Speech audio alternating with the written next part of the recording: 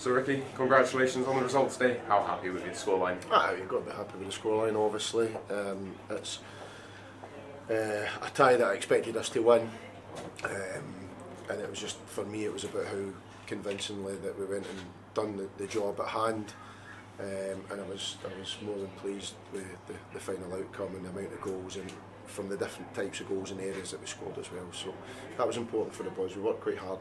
They're a great group to work with. I said that before. Um, we worked hard this week on, on various different aspects of our game and uh, today we saw that and one of our aspects was you know getting bodies in the box etc and you've seen that from even the couple of scrappy goals that we had that dropped down to ourselves and we managed to score so yeah happy with that. So obviously a lot of great individual performances today. It'd be difficult to pick out too many of the players because we could probably go for the whole team. But hat-trick today for Matty Collins. We spoke to him after the game there and he seemed really happy with his Yeah, well he should again. be not just with his goals but with his, his link-up play. He's a very clever player. He's got real real quality. Does Matty. He's still young, you know, you, you've got to remember that as well. Um, so he's done his chances, no harm at all, um, about staying in, into the team, and that was a good opportunity for guys like Matty to go and do that, and he really seized the opportunity. I thought he was a, he was a handful within the game, forgetting about his goals, his dribbling and his connection to the strikers, etc., and his work down the side. So I'm really pleased for that Mm -hmm. And then sort of touched on it briefly there, but now that you have all these players coming in performing does it give you a bit of a, difficult decision to make? Is it a decision you want? Obviously, yeah. Yeah, but uh, it's a decision you want in the back of a win. But the um, I've had this decision since we started really, and like I keep saying, we're a we're a we're a work in progress. There's no getting away from that fact. There's, there's like even today, there's things of course we can get better at. Uh, but it was important that we won and we won well today. Uh, and no disrespect to, to St Cuthbert's, but uh, that was an opportunity for us to go and win convincingly, and we've done that. Um, but in terms of headaches, aye, and it's up to the players though.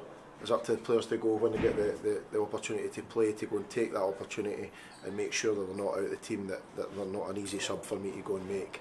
Um, good to get Jack McDowell minutes on the park as well, obviously, he's, he's been out for a long time.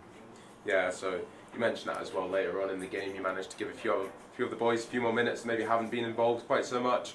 be happy to be able to you know get them in. Involved. Yeah, well, they've all been working really really hard, and this is the most difficult part of the job because we've got quite a big squad. There's quite a lot of young young players as well. Uh, but for example, Robbie Stewart was waiting patiently for an opportunity. He came in and I thought he'd done really, really well composure on the ball, defending when he had to defend, um, but other players' game time as well. But obviously, certainly every Blair and Aiden Aiden's played loads. He was also quite tight, so I left him out. Decided I didn't want to risk him. I wanted him to be available for, for Tuesday and Friday. Um, Blair obviously done well when he's came in as well, uh, but I wanted to get Adam on the park, so I could only make five subs um, for the three stoppages. So uh, it was good to get those guys on, but there was other ones on the side as well. You know, not not included today, but spoke to them. They understand, so they know they're all part of it. They know they're they know they're wanted here, uh, and it's about them understanding that and saying right, okay, I need to, I need to come out here, perform, do my best uh, to get into the team. And then you mentioned him briefly already, but Jack McDowell, how happy we to see him back on and testament to the hard work he's put in over the last, I think, 10 months. Yeah, well, Leanne's done really, really well. Leanne's very good at re rehab stuff and uh, he worked hard. I would have liked him back a little bit sooner, but um, Jack's an important part of the team because he's been here for, for a while. He knows he knows the kind of DNA, if you like, of the, the team and also the club. Um, and Jack's got a good opportunity now if he keeps injury free to go and kick on uh, and go and keep playing, go and doing his, doing his best he possibly can to, to improve himself. Um, but yeah, I'm de delighted for him. On a personal note, you know, Jack's worked with me for a long time now, and you know he's been suffering recently with that injury for a while, and it almost felt like he was never going to get back. But great to see him in, in, the, in the, the first team today. And then today, obviously, we go back into the league action pretty soon. But last season, the cups were important to us as well. We ended the season with a cup victory. How important are the, are the cups to you? Every game's important. We obviously won one of the cups that the Southern Counties put on. We got to the semi-final of that particular cup. We want to do the same. We want to replicate that. It's a good opportunity to go and get more games. Obviously, we've got a big squad, so it's a chance for for um, players to get game time as well. So every game's important. You've got to win games. It's about winning games. We want to win every game.